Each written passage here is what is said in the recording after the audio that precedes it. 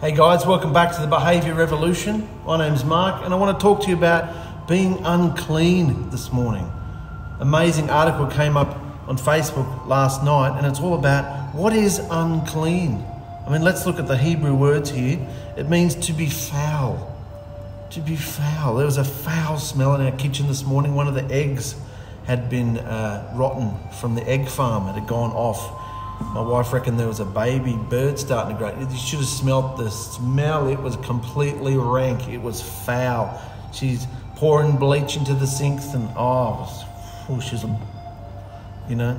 So to be foul, in a ceremonially or moral sense, to defile, to pollute, to make unclean. Foul in a religious sense, defiled, infamous, polluted, unclean, religious impurity, filthiness, unclean, nudity, literally, especially with prudent or figurative, disgrace, to blemish, nakedness, shame, unclean. Sacred person, male, prostitution, idolatry, sodomite, unclean. These are some understandings of the Hebrew of what uncleanliness is. I mean, if you've been going following Leviticus with us for the last couple of months, you understand that unclean was so important. You couldn't go anywhere near Yahusha if you were unclean. You had to be ceremonially washed, and then you had to have sacrifices made for you to make you un, to make you clean, to make you set apart, so that you could enter His presence and offer sacrifices and be in a healthy blood covenant relationship with the Creator. He can't be around anything that's unclean. The understanding man has been given from religious interpretation without the Ruach is nothing short of an abomination abomination. So man's interpretation of scripture without the Ruach is an abomination, I believe that. It has rendered men and women unclean and unfit to approach Yahusha. So if you're not washed in the blood of Yahusha, in his real name, you have no relationship. Religious understanding of the covenant is just man's mindset without light. Religion states that the Old Testament is obsolete, whilst Yahusha says he has renewed the old covenant into a better one. He has renewed the old covenant, the original covenant, blood covenant of deliverance. He's renewed it into a better one. Same covenant, just better.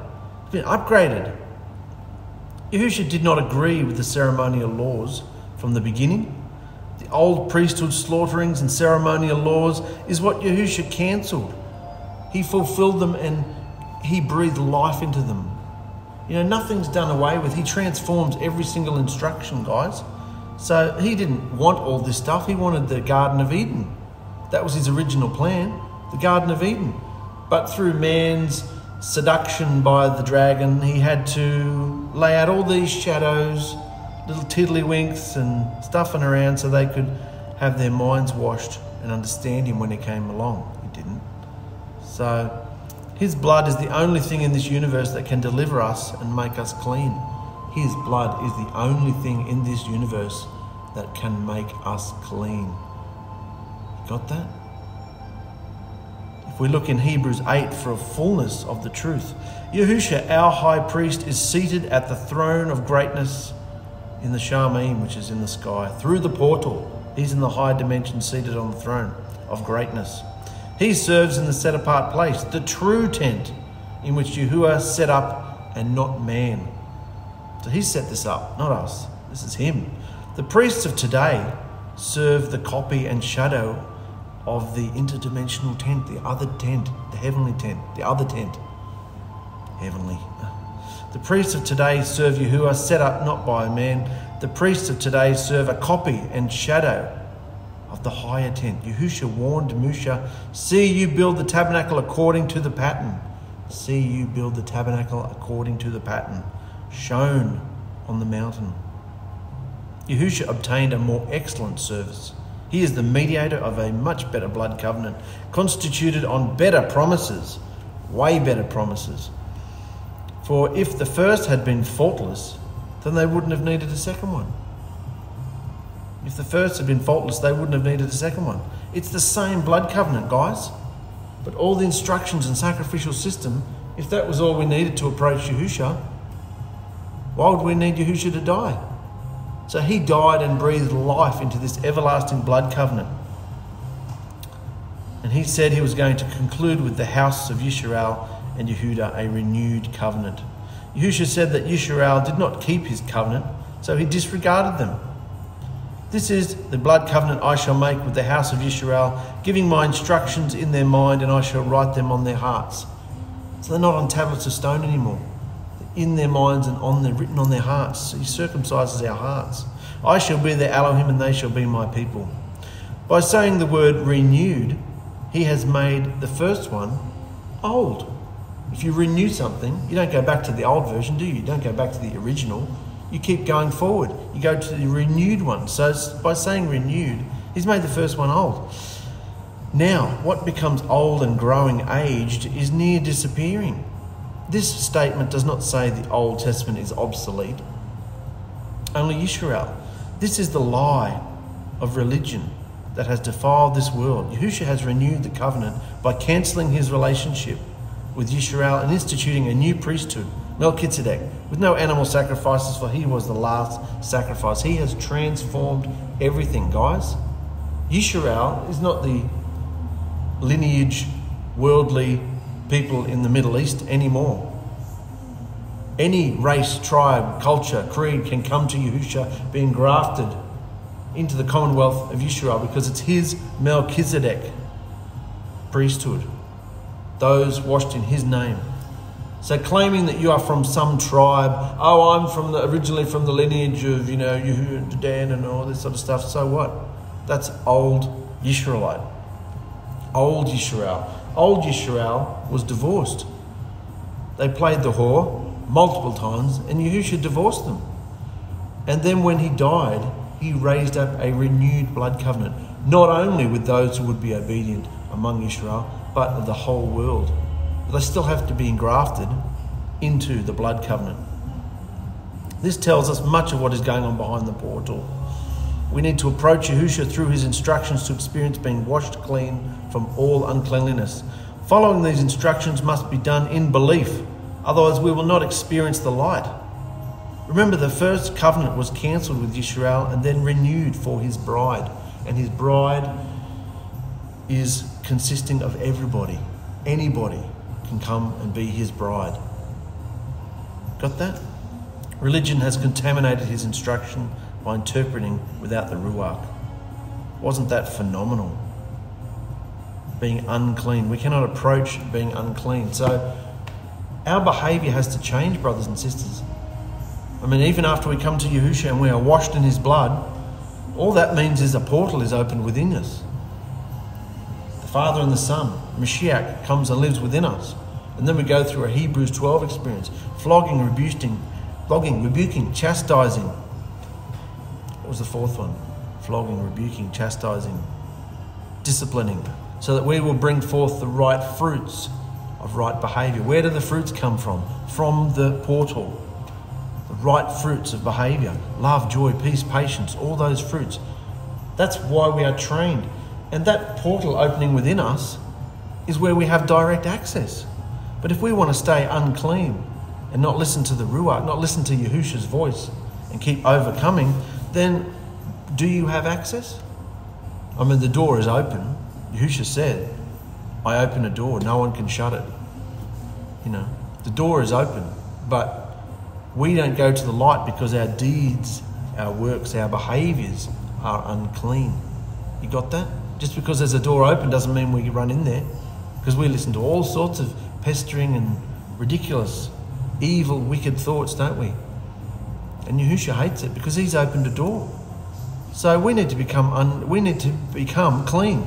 We are all in a state of uncleanliness, and when we get washed in His blood, we are now seen as clean in His sight. But we have to be clean. We have to overcome and behave and be clean, so that when He comes back, we're like minded with Him. We're sharing His mind and behaving as He wants us to behave. So it's not about where you work, what you do, what your family's like, what house you live in, what clothes you wear. Anything external does not matter. Haven't we just discovered that going through Leviticus? External things do not matter. They are all regarding the old blood covenant. And even though it's the same blood covenant, He's renewed it by putting His Ruach within us and showing us that we are accepted, it means that our physical bodies, forms, everything cannot boot him out of the camp anymore. Because remember, if there was any uncleanliness, he had to leave the camp. He had to leave the camp, otherwise he would his presence will just destroy us. But his blood fixed that. And he's gaining back time and space through our vessels, gaining back time, not just the Shabbat day anymore. Every day he wants us, not just in a little bit of our vessels, not just a little bit of our heart. He wants all the space, all the time, and all the space of us and eventually of his world. He's taking back ground. He's taking back his world through us, through this portal. So, this whole idea of being clean and unclean is just so important. It's been a blowout to me. And this has come right at the end of Leviticus. I'm about to put out the last few episodes of Leviticus, and this has come up as well. What is unclean? It just hones it all in, pushes it all in, summarizes it, and lets us see that we can be unclean today. Even though some would say we can't do anything to be unclean because Yahushua's washed us in his blood, and his blood can, you know, is more powerful than anything. That is true, but are you going to make it to the first resurrection, to the wedding feast, if you are unclean? He says, any anybody doing abominable things, we saw what all the abominable things were, didn't we? Baby, uh, baby sacrifices, sodomy, tree worship, eating blood, all these other things that are an abomination. Well, what about the beginning of this? It says, interpreting the scriptures and reading and behaving them without the Ruach within us, without Yahushua's influence and guiding us and teaching us, is an abomination. Because you're in religion. Religion is an abomination. That's why it's all crumbling. Catholic institutions crumbling.